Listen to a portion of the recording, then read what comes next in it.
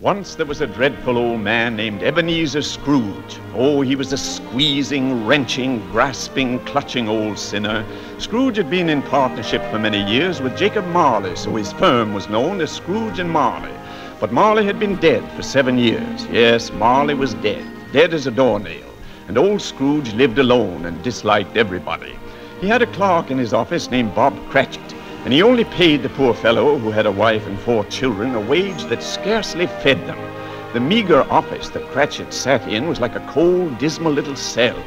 When Cratchit stopped to warm his hands over the burnt out coal, Scrooge looked up over his glasses and said, Cratchit, get on with your work. Well, you see, sir, my fire is almost out and my hands are numb. I need another bit of coal to keep warm, sir. How many times have I told you I won't have you burning up my coal as if it were rubbish? But, sir. Back to your work. Yes, sir. It was Christmas Eve, and into the office of Scrooge and Marley popped Scrooge's nephew, Fred. A Merry Christmas, Uncle. God save you. The humbug. Christmas a humbug, Uncle? You don't mean that, I'm sure. I do. Merry Christmas. What right have you to be merry? You're poor enough. Oh, come now. What right have you to be dismal? You're rich enough. The humbug. Oh, don't be cross, Uncle. What else can I be when I live in such a world of fools as this? What's Christmas time to you but a time for paying bills without money?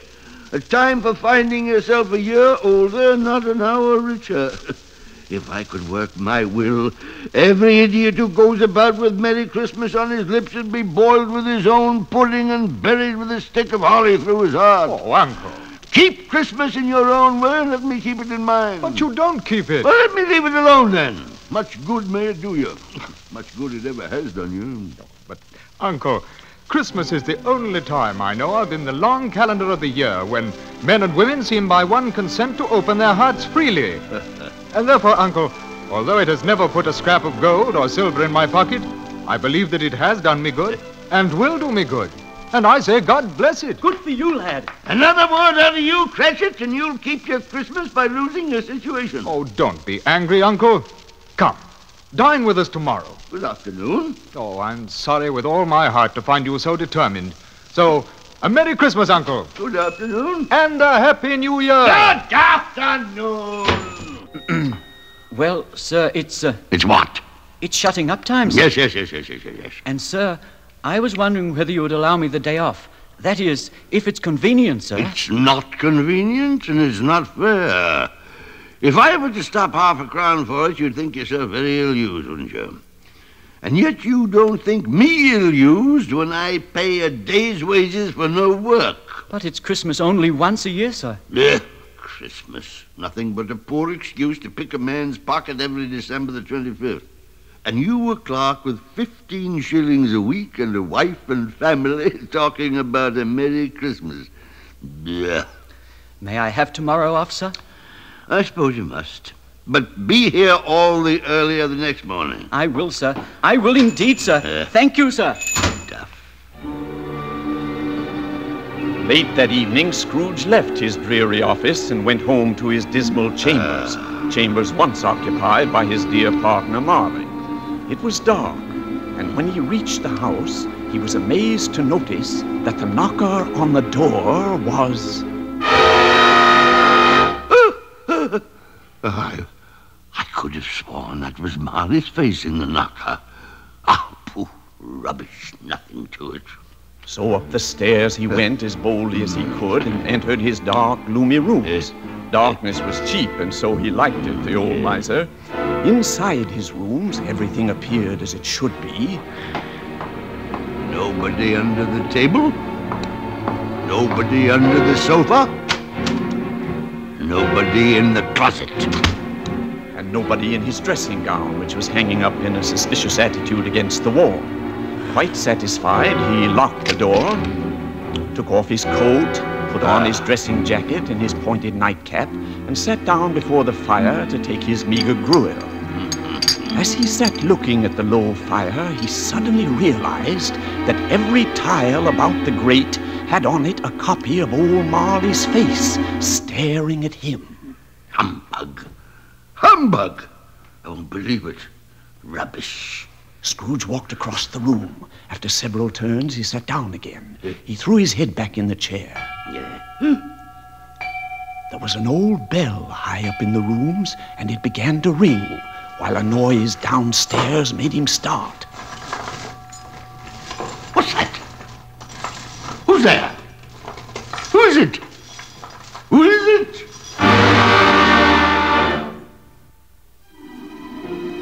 Suddenly, right through the wall, and then, behold, inside the room, Scrooge saw before his very eyes. Marley! What do you want with me? Much. Who are you? In life, I was your partner, Jacob Marley. Don't you believe me? I don't.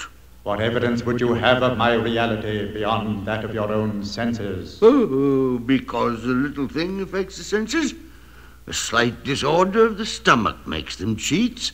You may be an undigested bit of beef, or a blot of mustard, a crumb of cheese, a fragment of an underdone potato. There's more gravy than grave about you, whatever you are. Oh, oh, mercy! Dreadful apparition, why do you trouble me? Man of the worldly mind, do you believe in me or not? Oh, I do, I do, I do, I must. But, but why do spirits walk the earth, and why do they come to me? It is required of every man that the spirit within him should walk abroad among his fellow men, and travel far and wide and do good. And if that spirit goes not forth in life, it is condemned to do so after death. Oh, Oh, please don't do that. You're shackled. Tell me why. I wear the chain I forged in life. I made it link by link and yard by yard. Is its pattern strange to you? Jacob. Jacob Marley, tell me more. Speak comfort to me, Jacob. I've none to give Ebenezer Scrooge. In life, my spirit never roved beyond the narrow limits of our money changing hole, and weary journeys lie before me.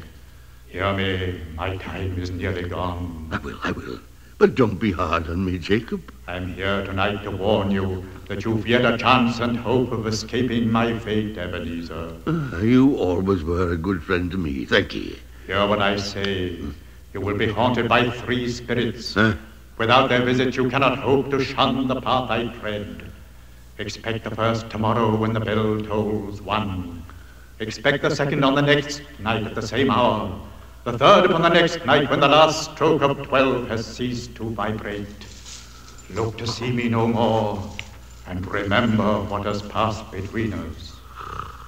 When the ghost vanished in the dark, bleak night, Scrooge denounced the whole thing. Bah! I won't believe it. The whole business is rubbish. Humbug. Then he went to bed and was soon asleep. When Scrooge awoke, it was still dark. The chimes of a neighboring church had just struck twelve. Twelve o'clock. Why, it was past two when I went to bed. That clock's wrong. An icicle must have got into the works. Twelve. It isn't possible I could have slept through the whole day and far into another night. Uh, It isn't possible anything's happened to the sun. And it's twelve noon. He scrambled out of bed and groped his way to the window. All he could make out was that it was still very foggy and extremely cold. So back to bed he went and thought and thought and thought. He said he'd be here when the bell tolled one. when the bell tolled one. Humbug. one o'clock. The hour itself and nothing else. I knew it.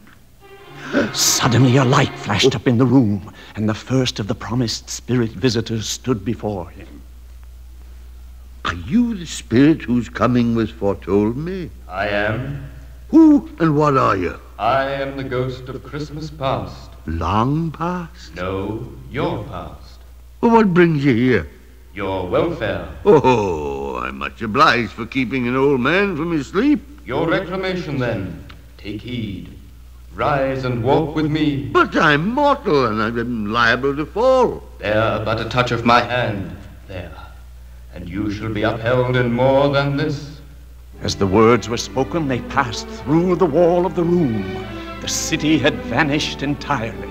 They stood upon an open country road with fields on either side. Do you know where you are? Good heaven, I was raised in this place. I was a boy here. Ah, you recollect the way. Uh, I could walk in blindfold. Strange you had forgotten it for so many years. Lead on, spirit. I'll follow. Come. Do you see that schoolhouse? Do you remember? Yes, yes, yes. Of yes. course you do. You see, the school is not quite deserted, even though it is Christmas Eve. A solitary child, neglected by his friends, is left there still. Do you know who that boy is? Of course I do. It's me. It's my own lost boyhood. My poor forgotten self as I used to be. Poor lonely boy. I wish... Wish what? Uh, nothing. It's too late now. Too late for what? Nothing, nothing, nothing, nothing. Uh, uh, last night a boy was singing a Christmas carol at my door. I should have liked to have given him something, that's all. Come. Let us see another Christmas.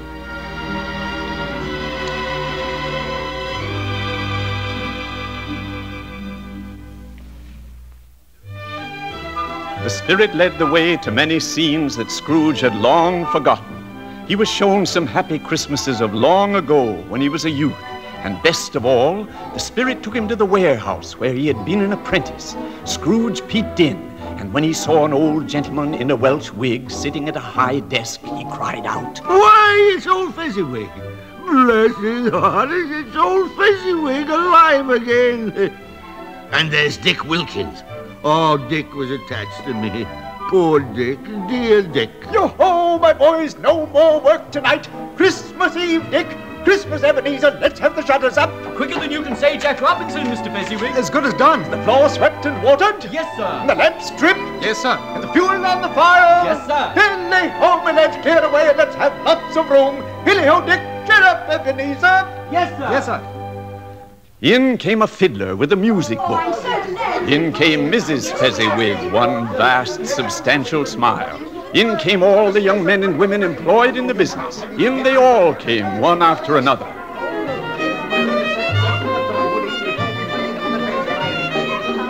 And so the jolly party went on until 11 o'clock, when they parted as happy as happy could be. Merry Christmas! Merry Christmas. Wasn't Fezziwig a silly man? A silly man. Why, he was a wonderful man. A fine fellow.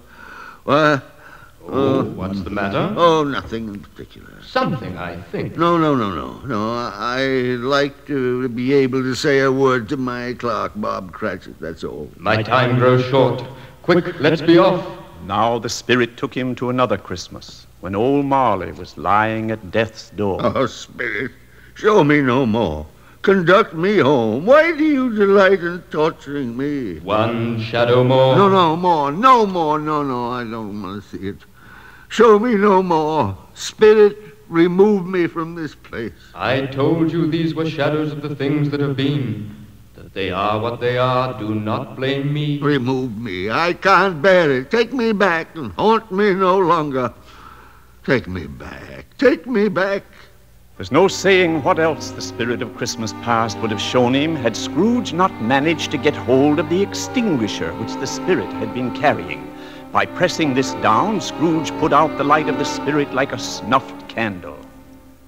Then he reeled into bed and sank into a heavy sleep.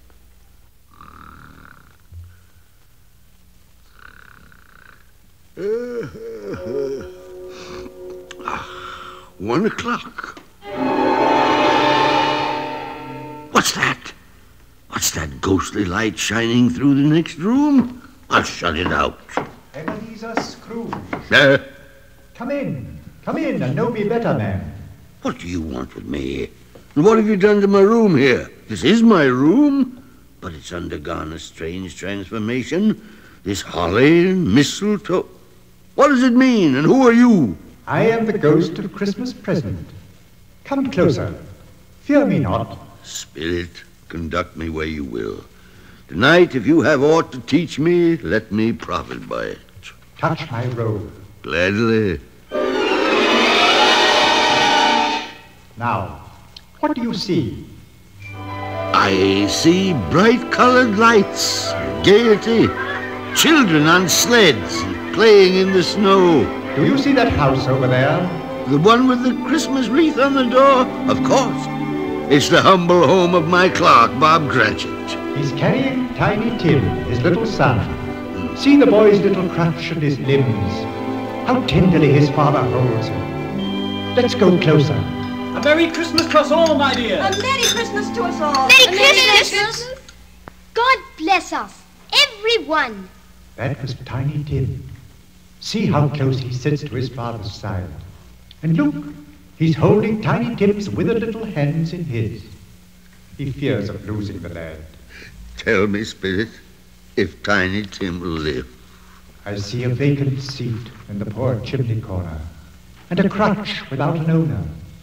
If these shadows remain unaltered by the future, the child will die. Oh, no, no, kind Spirit. Say he'll live.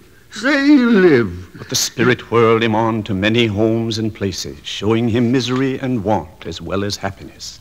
Then the spirit vanished, and a new and different figure appeared. It came slowly and silently toward him.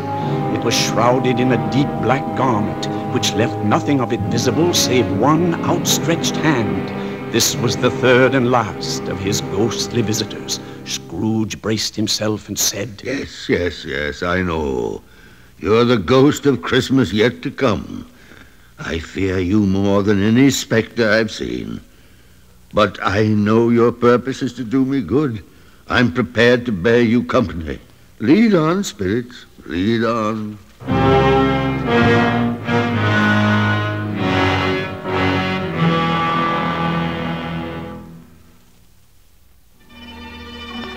Phantom moved, and Scrooge followed, and at length the ghost of Christmas yet to come brought him to a neglected gravestone. What's this?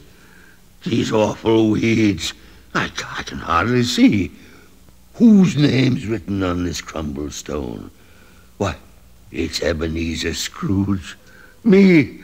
Oh, no, Spirit, no, no. Spirit, hear me. I'm, I'm not the man I was. I'll not be the man I must have been. Good Spirit, pity me. Assure me I, I may yet change these shadows you've shown me by an altered life. I, I'll honor Christmas in my heart and try to keep it all the year. Oh, tell me I may wipe off the writing of this terrible stone. In his agony, he caught the spectral hand, but the spirit repulsed him. As Scrooge held up his hands in a last prayer to have his fate reversed, he saw an alteration in the phantom shape. It began to shrink. It collapsed. And then. This bedpost. Yes, yes. Why, it's my own. This bed, it's my own bed. My very own. This room, my own rooms. Oh, bless it all. I live the past, the present, and the future. I will, I will. The spirits of all three shall strive within me. Oh, Jacob Marley, heaven and the Christmas time be praised for this. I say it on my knees, old Jacob, on my knees. I'm as light as a feather. I'm happy as an angel. I'm merry as a schoolboy. Hey, hello outside there. What is today? Why, it's Christmas Day. Christmas Day! I haven't missed it. The spirits have done it all in one night. Hello, my fine fella. Hello. You know the poultry shop in the next street, the, the, the, the one at the corner? Indeed, I do, sir. Oh, an intelligent boy. A remarkable boy. Do you know whether they've sold the prize turkey that was hanging up there? The little one? No, not little one. No, no, no. The, the, the big one. What? The one as big as me?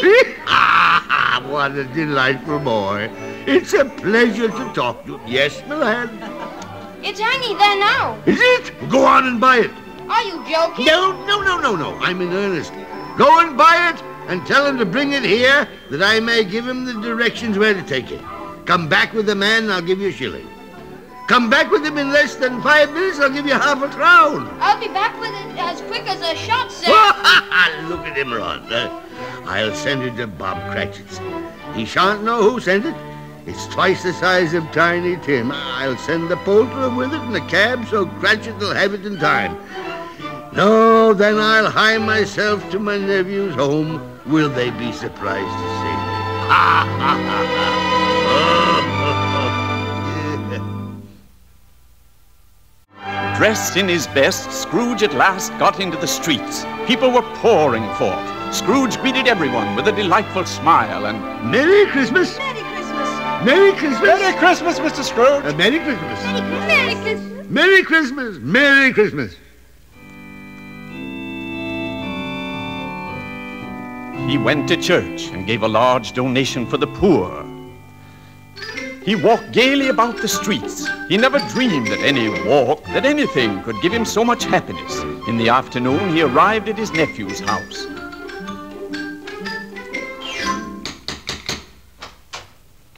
What can I do for you, sir?